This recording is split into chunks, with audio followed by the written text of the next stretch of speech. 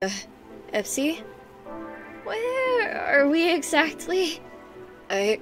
Fuck! We need to get out of here, man! I once killed a person. Oh. Wow. We really just pulled a one, didn't we? Finn, Finn, close your eyes. you aren't gonna want to see this.